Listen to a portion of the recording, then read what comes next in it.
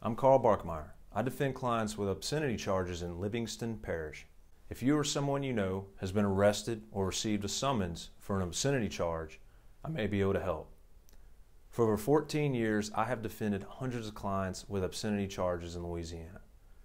Please see my website for more information on obscenity charges.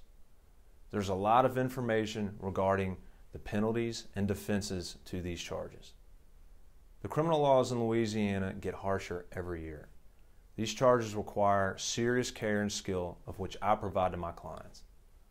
So if you or someone you know has been arrested for an obscenity charge, give me a call. I'd be happy to help.